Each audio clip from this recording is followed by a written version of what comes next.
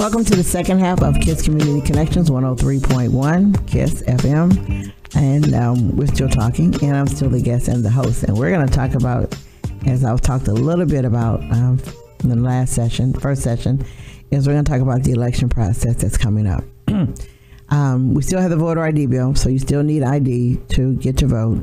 And we have plenty of time now to help people who don't have voter an ID. We have plenty of time to help them get one. They do need this. They do need their birth certificate and all the know, information to prove who they are, so they can get an ID card if they don't have a driver's license. Also, if it's a senior citizen and they're of a certain age, I'll say like in their 80s uh, or older, they don't have a birth certificate. They don't because they weren't given at the time. They were just on a sheet of paper and sent to one, and their Bible is when they were born and all that good stuff you can still take them to the Department of Motor Vehicles and they can still get an ID because you're going to ID them. You you are. And then there are several pieces of things they're going to have them bring with them, such as utility bills, um, and whatever else they have that's on that list to attach them to attach that name to them. But you can verify who they are, how long you've known them, and everything else. You can help verify a person that's 80 and above to help them get a voter ID. So right now if they don't have a driver's license right now, today, need to help them get it before our primary election is in March. Primary election is uh, March 18th, so they have 30 days prior to that, which would be February 18th, to get all that done. So let's start now. If you're not registered to vote, you need to get registered to vote so that you can vote in the primary election um, in in March. We need to be ready. We need to be moving because, like I said, this is a very important election. This is not the first time it's ever happened, but next year, like I said, we could change the dynamics of voting. And everybody who's going to vote, who's going to run for office, has already been solidified because they've already filed their paperwork. So you can always check on who is going to run for what office, and we need to be smart about it. You know, also we need to remember where to place people. Everybody is not a political candidate. Everybody cannot be a political candidate some people need to stay in strategic roles, and we need to understand roles that people are in. You have people that are activists who will kick in the door, talk to the politicians. That that person that does all those things, that you know, targets the governor. Hey, listen, this is wrong about this. That person is is there to do their job, and they're good at it, and they need to stay there. And you need to support them in that role because it takes all these roles in order to, to get uh, this done. If we have one person that's um, I'll say the county commissioner. Let's say we have a county commissioner and we like that person being county commissioner. We want them to continue in that role. Then we need to build a support group behind that person. Your support group is one, your activist. The activist is the one who, who, like I said, with the mouth, who's going to knock down doors, kick in, step on desks. This is not right. This is not going right. That, polit- that person in that office needs that person. That person needs to be there. Then you have the person who will send out all the you have the quiet person who wants to stay behind the scenes and do only behind the scenes things and you might say no you need to get up there and talk. No if they're best behind the scenes then utilize them doing your media stuff because they're, they're behind the scenes and they're good with that. You let them do that and let that be what they do for all candidates that let's say people are supporting. If you have a group of people and they say we're going to put this person in or leave this person in then you build a team, but you don't build a team of all the same people because it fails. So in that team, you need that activist person who's going to, you know, set some fire up under people by saying this is what we need, this is what we want, this is this, this and that. Let that person do that job, and you keep them over there and support them because that's what they do this well. You got one who says, I want to stay at home. I'm not really the out there person. Okay, then there could be your media person. And let them stay there because that's their comfort zone. Don't try to move them to knock on doors they might not be knock on door people. And I'll say myself, I'm the activist person. I'm gonna call you, come visit you, tell you what you need to be doing. I'm even tell you what you better do because candidates and well elected officials, they work for us. We don't work for them. So you tell them what you want because we help pay them. So I'm gonna tell you what I want. So don't don't ask me to knock on doors because I'm I'm not gonna knock on doors. Don't don't ask me to do the media person because I'm not doing that my specialty is here, so I should stay here, and you should respect the fact that I need to stay here. Now you do have people who like knocking on doors and walking and doing all that. That's good. That, that's great. You need that group. Then you need that group to stay over there. But don't ask everybody else to cross over and do that. See, when we build a team, we have a bad habit of saying we're all walking at ten o'clock tomorrow morning. Then I don't show up and someone else show up. You go where you at? I don't do that.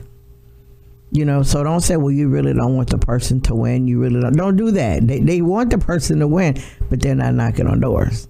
And I'll say, for I'm not knocking on my door. It's not that I'm too good for. It. That's not my expertise, and that's not my zone of being comfortable. I'm, I'm not doing that. I am not. So leave the person that's an activist, leave the person that stays behind and writes the letters, does the media thing. Leave them where they are. And the people who want to walk and pass on information, put them there where they are too. And then you have the one that's going to be at the forum asking questions that the candidate has, that you've already prepared for that candidate. Have that person there at every forum asking those same questions because they're working for the candidate that you want in office or you want to stay in or the one you want to excuse me stay in office. That person is there that's their job. That's what their job is is to pull the questions pull the questions and pull the questions out that will be good for that candidate to win so you need that person sitting there and every time they're going to ask not the same questions but they're going to ask different questions but it's already been planned the answers already been planned the strategies in process so let that person do their job so they're needed. Don't ask them to knock on doors because they might not knock on doors. That's not their thing. They don't want to do that. Don't ask them to do the media part. It's not their comfort zone. Don't ask them to do the activist part. It's not their comfort zone. And like I said, too many times I've worked a lot of elections and they say, we're knocking doors. I'm like, good, y'all have fun. They said, what? Y'all have fun because I don't do that. Then you have phone banking. Phone banking is, you know, the same, the, the calls, they tell you to come out and vote for a person. Okay, you have a group of people that love that. That's not me. So the person who does the activist part, the person who does media, the one who's in there asking the questions, the person who does the phone banking and the walking, those all could be different people. And that's fantastic because you're not asking anybody to cross over to something that's not good for them. But that, that, that really isn't good. So when you build a team for elections, when you build a team for candidates, make sure that your team members know where they're best at and leave them there where they uh, leave them there because too many times i see people cr- criticizing well we were walking and they didn't show up because they don't walk with they don't that's not their job to do that's not what they do best you might have people walking and other people are sitting there calling you might see from 10 to 1 we're walking we're doing calling we're doing social media and, and the activist person is doing their thing that could all be happening from 10 to 1 at the same time. Do you imagine? Now imagine all that happening at one time. How many people are we actually reaching? A whole mass of people. Versus you telling everybody drop and come walk. If we all drop, first of all, you asked me to drop one. I'm, I'm to be the worst door knocker that you could possibly find. I am not good at it, and I'll tell you, I'm not good at it. And anybody, I'm not good at it. I, I don't do it. I'm not well at it. Okay, fine. Then you don't let them do that. But you got to build, when you build a team for an election, you got to build the right team. And I'll use Alabama as, as one thing. The women who got together and voted that way, they got together as a group. And they, that's what they were going to do. They, they focused on what they were going to do and how they were going to do it. The party focused on a way to do it and how they were going to do it. Everybody had a strategic plan on how they were going to do it, and they actually stayed in their plan and actually made it work. So what I'm saying is for this upcoming election, use everybody at where their expertise is. Don't put people in places where they don't work well at and just say you can do this if the person, you know, you want to win, you want this person to win, this is how you do it. No, no, no, no, no. Let everybody stay where they are. And together we can all win. We can all win the election. We can turn the tides of the United States. We can make things I don't, and everybody said make America great again. Uh, when was it ever great first time? I just need to know when was it ever great? And it's not about making a great uh, America great again. It's not even about making America great. It's about making America fair. Just think about it. it can be great for you and terrible for me, but it can be fair for everybody. So we're doing this because we want a fair playing field. We don't want a rich and poor playing field.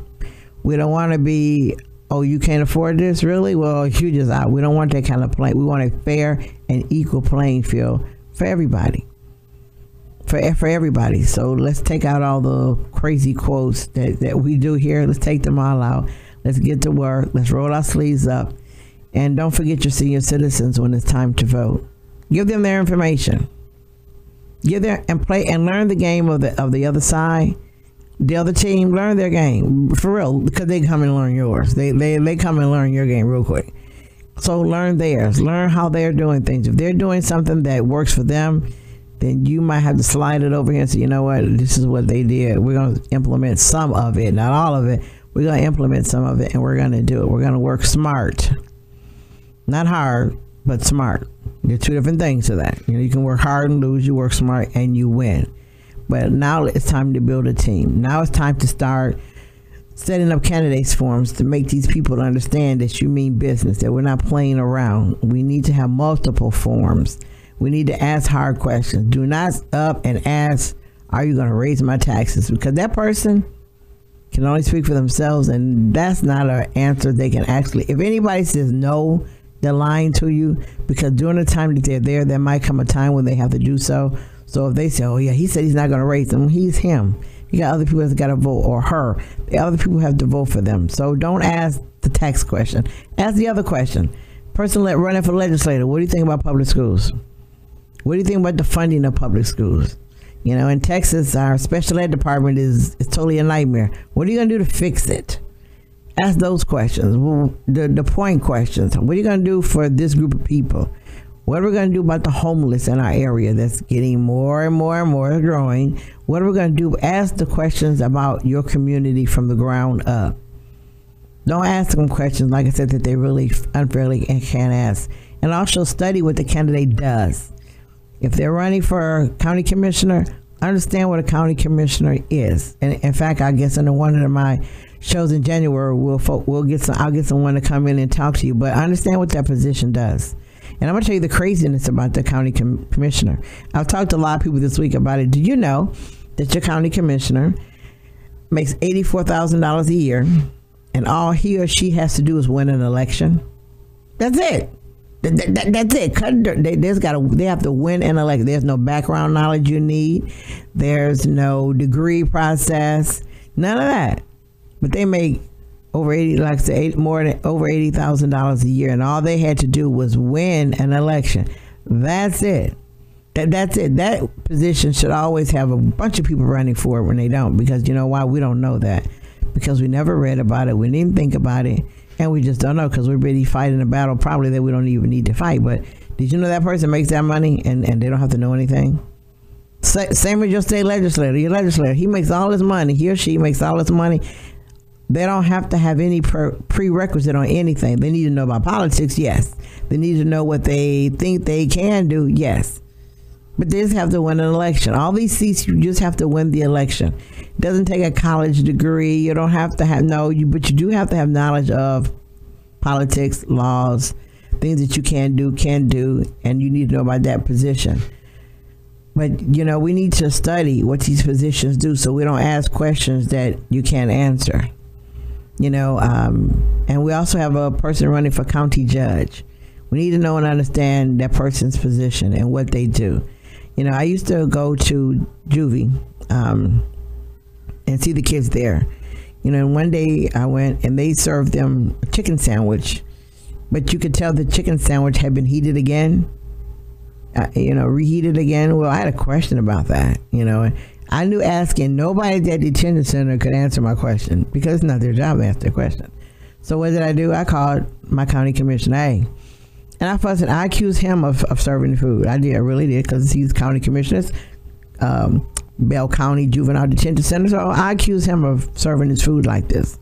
I did. I got on him really bad. I knew it's not his direct job, but it's in his area. So I, I accused. I told him he served those kids some warmed over sandwiches, reheated fries, you know, and and I went I went off on him, but I knew what I made him do. I knew that was going to force him to do because since I went off on him, he had to go and find out what I was talking about. He had to go and investigate it because he knew don't come back and tell me you didn't find nothing. So he went. He called me back and he explained, you know, what happened. He explained what would never happen again. And I, you know, as you know, I went back to check and it, it didn't happen any. The next time I went back, I don't know how that happened or some whatever because no one knew I was coming. But they had chicken sandwiches again, and oh, they looked good enough for me to buy one. They were looking good. You know, the kids were they they you know sitting down like how it taste. They said it's hot. I said, does it taste whatever. You know, does it taste reheated? The bun looked fresh. The bun looked good. You know, they lifted up and there's some cheese there. Okay, the cheese did not look like it was reheated again because we know how reheated cheese looks. But the sandwich was actually good. It was actually warm, and I was happy. I was happy because I told him if it happens again, I'm gonna call you some more.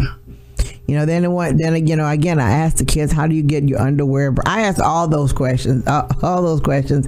I went back to them again. I'm like, "You having kids wear whatever, whatever I was fussing about?" You know, and he explained it to me. We went around it again, but I held him accountable, and I made him go find the work and then tell me what it was. But that's because I was holding him accountable. It wasn't because I so yelling at the people at the detention center, asking them 50 questions. I wasn't going to get anywhere with them I knew I wasn't. It was craziness. So I went to the county commissioner and and, and accused him of it. And I knew by that he was going to move and do something because he knows I always I call them and often and fuss about something that uh, I disagree with. But we need to do those things. See something, say something. Don't hold it back in. You know, if you live in Killeen, where everybody wants to know what the police chief going to do about crime, that is the dumbest question in the world. It is. It's totally dumb because he can't fix it by himself.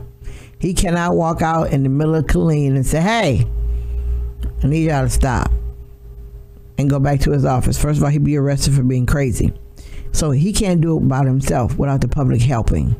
No police chief can do anything about stopping crime without the help of the public. It, it's a team. It's a team effort. And the police department, yeah, might they, you might say, well, they need to be a little more friendly. Okay, that could be true too. Relate, relate that to the chief. But also, what about you in the community? When you see something, you don't say anything. You close the door and go, I'm not going to be bothered with that. And then you very one who's saying, why they didn't catch him? Because you said you weren't going to be bothered with it. And you're the only one that's seen it. You don't want to be bothered. So now you want to know why they still free, or maybe because you didn't do anything about it. So we must be proactive in this. If you want crime to stop, we want to slow down, then we need to be proactive about it. We need to assist too, because there's always something that we can do instead of just laying the blame on saying, you know, yeah, we got a new chief, he ain't about nothing. He, he can't even stop. No, he can't even stop crime. Then I need you to explain to me how one single person can do that. Because if you can, you're good. If you really, if you can explain to anybody how one person can do it, it, it does. It's a community effort. It's a team effort. You know, it's like school. Uh, we have kids in school who can't tie their shoe, and uh, parents will say, "I thought that was the school's job." My answer is, since when was it our job to teach your kid how to tie their shoe? I, I can't even remember when it became our job to do that. You know, so we need to take responsibility for things we're responsible for and we need to actually do them. Crime, some of it's our fault. We look away. We, we look away because we don't want to get involved, but we want you to fix it, but we don't want to get involved. Stop doing that. It takes, like I said, it takes team effort and it takes community effort. You don't want your name mentioned, then there's Crime Stoppers. Call that number, your name won't be mentioned they'll have to give you a number because you know you get paid for Crime Stoppers. You know, if you turn someone in and there's a reward, they'll sign you with a number and not your name. So if you don't want your name mentioned, do it that way. But by all means, start stepping up to the plate and quit. It's easier to say he should do it. Well, yeah, he's doing what he can do. He might have the police work different hours, change their, change how they work, uh, make them get in the street more. But still, guess what? That's it's not going to be a hundred percent surefire cure that he alone by himself can stop crime. So let's not, you know, go after him and say he couldn't even stop a robbery. Well, if he don't know anything about it, it's kind of hard to stop it. But if you saw it, you can. You know, it, and it goes back to um, a couple um, Thanksgiving time. I was driving down Fort Hood Road, and this lady was getting beat up in the bus th- in the little bus station, little bus thing that they got where you catch the bus by a guy. but it took women to get out of the car to stop him. Men drove by. They they just drove by. They drove by, didn't do anything about it, but blew their horn because we stopped our cars not in the middle of the street, but on the shoulder of a street, which was illegal. But we stopped there to, to assist her. Men drove by. A lot of people drove by. Why? Because they probably didn't want nothing to do with it. Nothing. He could have beat her to death probably, and nobody would have. Everybody would have just drove on by. We've become so desensitized, just drive by. Well, we didn't drive by. The lady who stopped, I didn't know who she was. no clue. But we both stopped, decided that we need to do something about it. And all it took was us to yell at him. because you know he turned around, looked at us, and oh gosh, didn't know what we are gonna do. He didn't know. We didn't know either. But we knew that we needed to get out and stop him from doing what he was doing. he left the scene of where he was, and she went. She went one way. He went the other way. We don't know if they got back together again and it continued. We have no clue. But at that point in time, we stood up and we stopped it. My thing was, I don't know why everybody else is driving by. But I'll tell you what they probably thought. I'm not getting involved in that. I'm not. But if there was their daughter and that was happening too, I guarantee you they would have been upset like we were. This girl wasn't any relation to us, but we were upset that everybody wasn't stopping. We're like, where the man at? Some man got to see us standing here busting at this idiot, but they didn't stop. Just kept driving by. so is this a society I live in in Killeen? I suppose it is. I, I, I guess it is. I guess it's like I said, we're so desensitized about what goes on. We just let it go, and we felt it was it was okay. Well, we need to change that. We need, we need to get out of that. We need, we need to change. So we want things to change. We have to be a part of the change. You know, if we want uh, better politicians in office, then we need to change it. They can't change it. We, we need to change it.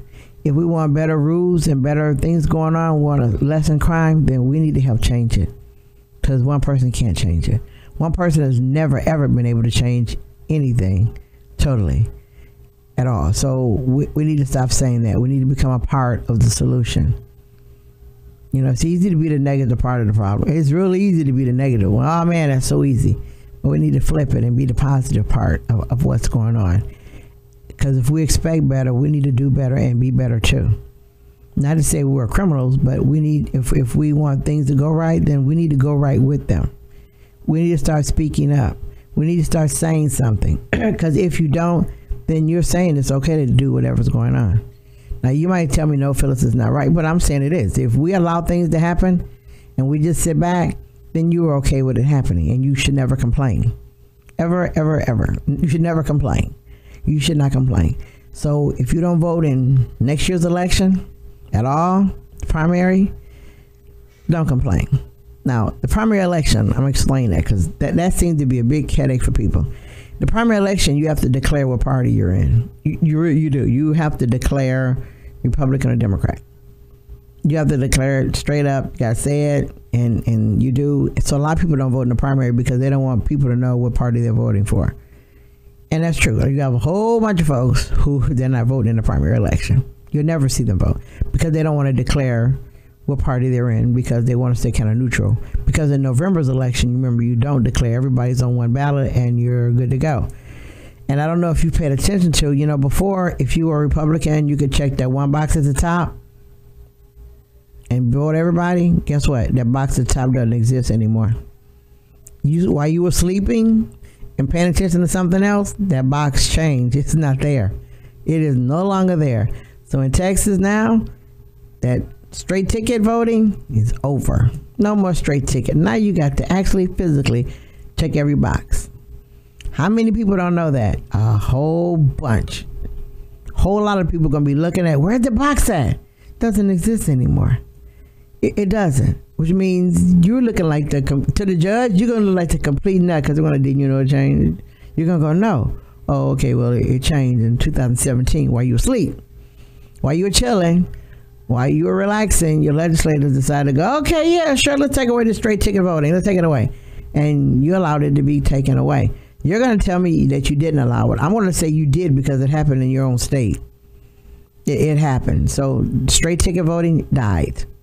It, it's gone. Doesn't exist in Texas anymore. So now you must go back, go down and check all the boxes. But remember how you need to vote. Remember, primary, you declare what party you're in. In November, you do not. You have people saying last year I did, or well, no, you really no, you you didn't. You, you did not. And also, let's understand your city council is neither.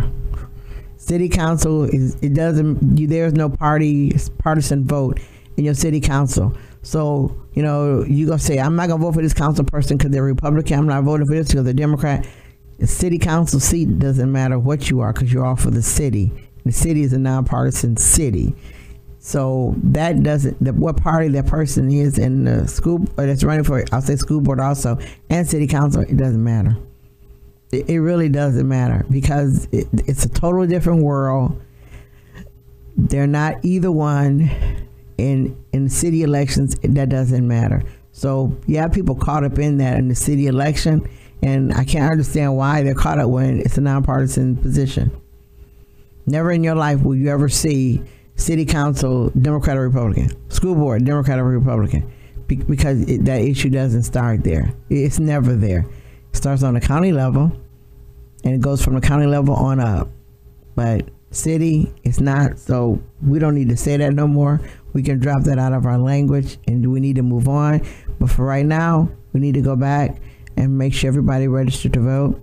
We need to go back and make sure our senior citizens have a voter id voter card uh, id card you know the state issued one we need to go back and make sure that happens we need to make sure that people are informed people don't vote because they don't understand some people don't vote it's not because they don't want to vote they don't understand the issue because sometimes the issue is written in college language and not fifth grade language.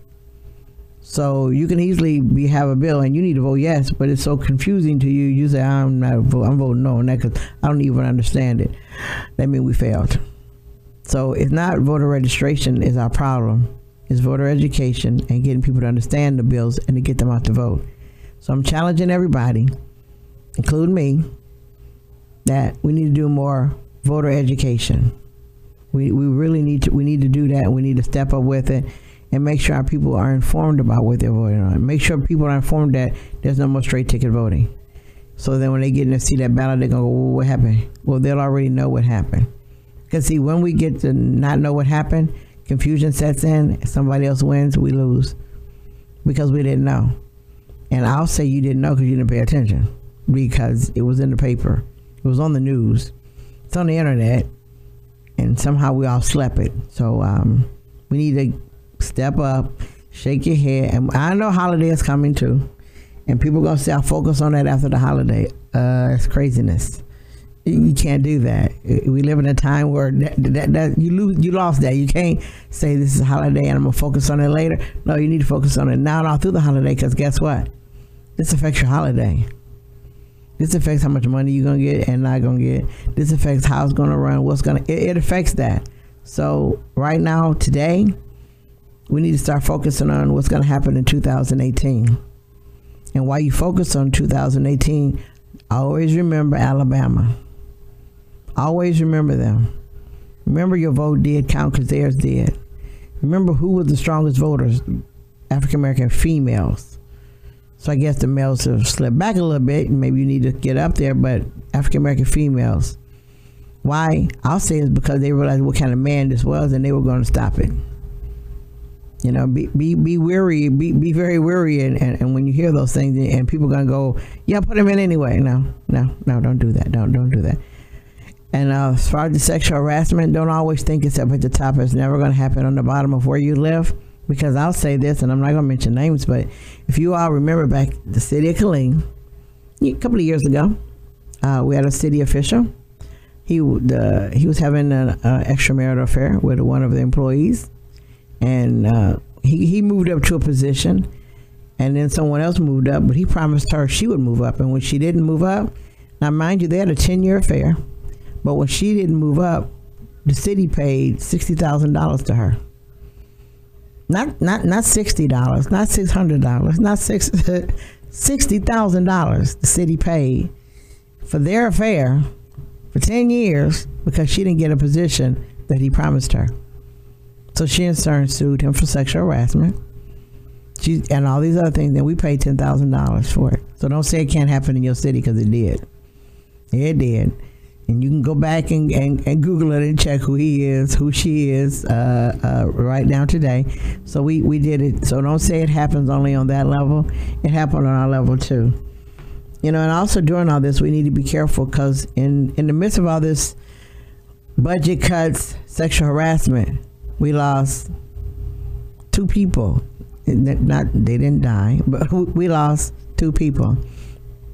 Tavis Smiley uh, got hit with sexual harassment case, and we don't know whether whatever how that happened or how it's going. But he's had taken out there. But Roland Martin, he lost his job and had nothing to do with sexual harassment. His was a budget cut. Now come on, think about the game wise. Here's a man who has a strong show on your station, on your on your t- on your radio on your television station, on TV One. Strong, strong show. Get the word out there. And you got some crazy buffoonery shows on that same station. But when a budget cut, you cut your toughest person. Does it make sense to you? Didn't make sense to me. So in our community, we lost two voices. And think about it. In our community, we lost two voices. One, sexual harassment. One, a budget cut. The budget cut thing doesn't make sense. And and the sexual harassment thing, I don't know. We don't know how it goes. Uh, Tavis Smiley said it was consensual, so we don't know. But my thing is, we have two, we have a 2018 election coming, and two of our strongest voices are gone. We got to replace them somehow. We got to do something about that. Somebody else needs to step up to the plate. I know somebody else is ready, so somebody else needs to step up to the plate. Well, I want to thank you for listening to me for a whole hour. And while we talked about what we need to do and what we're going to do, and frankly, uh, we kind of better do it because we want some change. And we see all these crazy things going on on the news. We see them in the paper. We need to start paying attention. And like I said, when the focus is all the way over here on, on the left on sexual harassment, it's good that it's brought up, but go back and look on the other side and see what's going on over there. Because, like I said, now the internet, the internet cap and the internet rule is gone. President Obama, well, ex-president, he put it in there as a safeguard to us. No, it's gone now. And it went the same week as they were talking about Alabama. It, it went away that week. The vote was in. It, it, it's, it's changed now. The tax bill, thank heavens, it didn't get changed because it would have went another way too because we weren't paying attention. But keep your eyes open your ears open. uh, let's get rid of harassment because we can. We need to. We need to stop it. We need to, quit, you know, um, just letting it ride and turning the other head and cheek and all. No, we need to stop it and say something about it. So I want to thank everyone for listening to Kiss Community Connections on My Kiss 1031. And I want you to always remember you cannot live positive life with a negative mind. We'll talk to you next Sunday. Bye now.